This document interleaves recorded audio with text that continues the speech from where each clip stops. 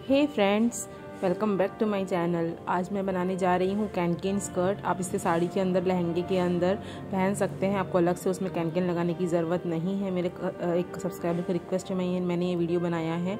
तो उसके लिए मैंने एक प्लेन सैटिन फैब्रिक लिया है टू मीटर्स क्योंकि बहुत ज़्यादा लेंथ की ज़रूरत नहीं है इसमें कैनकेन स्कर्ट बनाने के लिए। तो उसे मैं फोल्ड करके ए लाइन में कट कर लूँगी। एक स्कर्ट ए लाइन हम बना लेंगे। तो ए लाइन कट करने के लिए लेंथ आप अपना ले लीजिए वेस्ट टू एंकल तक। आपका जितना लेंथ है और वेस्ट आप अपना मेजर कर लीजिए, उसका वन फोर्थ करके यहाँ पे मार्क करके ए लाइन में आप कट कर लीजिए इसे।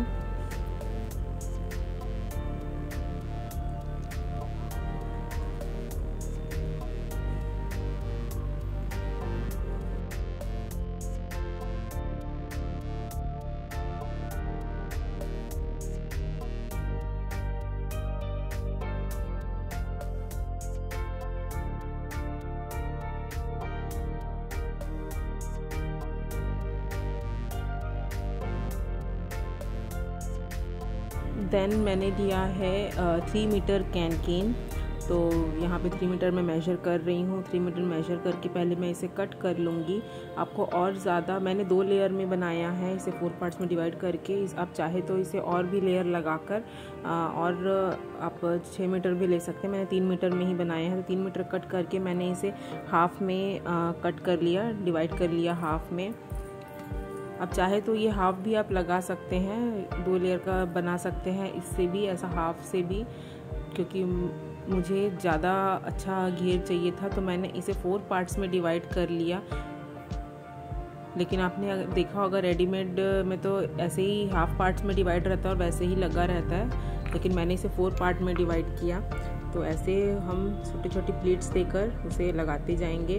तो ए लाइन स्कर्ट जो मैंने बनाया था उसे मैं आ, उसे मैं अच्छे से फिनिशिंग कर लूँगी पहले।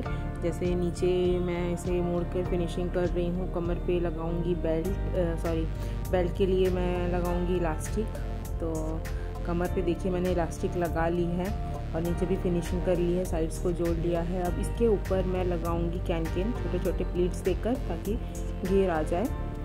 तो जितना मेरा ये कैन कैन का जो विथ है, उसे मैं मेजर करके यहाँ पे मार्क कर रही हूँ, क्योंकि स्टिचिंग करते टाइम तो हमको पता नहीं चल पाएगा कि कहाँ पे हमको स्टिच करना है तो क्या मार्किंग रहेगी? तो प्रॉपर वो एक साथ बराबर लाइन से आएगा। तो जितना भी उसका विथ है, मैं वैसे ही मार्क कर रही हूँ।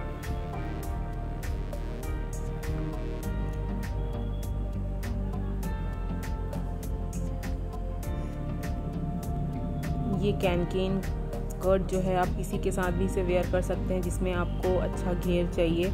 जनरली तो लहंगे के साथ ही इसे पहना जाता है कैनकेन अगर आप यह पहनते हैं तो आपको लहंगे में कैनकेन लगाने की ज़रूरत नहीं है। आप किसी के साथ भी आ, इसे आ, पहन सकते हैं कैन कैन स्कर्ट को, साड़ी के साथ भी, इवन अगर आप साड़ी को लहंगे स्टाइल में पहन रहे हैं तो आप उसके अंदर वेयर कर सकते हैं। तो बहुत अच्छा लुक देता है। मैंने नवरात्रि में पहनी थी, आपने देखा होगा मेरा शॉर्ट्स वीडियो नवरात्रि में साड़ी के अंदर मैंने साड़ी को लहंगा बना बना, बनाकर स्टिच नहीं किया था। एज अ लहंगा मैंने पहना था साड़ी को अंदर कैन कैन स्कर्ट डाल के तो बहुत अच्छा फ्लेयर आया था।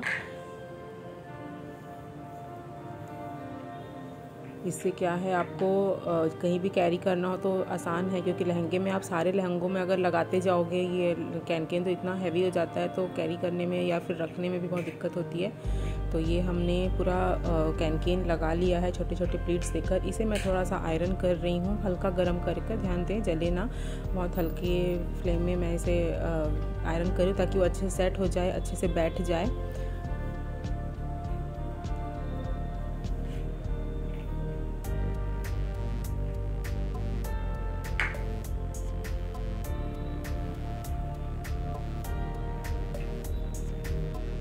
ये देखिए आयरन करने के बाद कितना इवन दिख रहा है ये, नहीं तो फिर पूरा ऐसा उठ रहा था अनइवन जैसा दिख रहा था।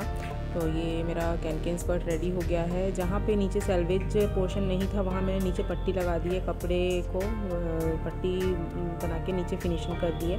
तो ये हमारा कैनकेन स्कर्ट रेडी है। आपको कैसा लगा मुझे ज़रूर बताएँ। Bye bye thanks for watching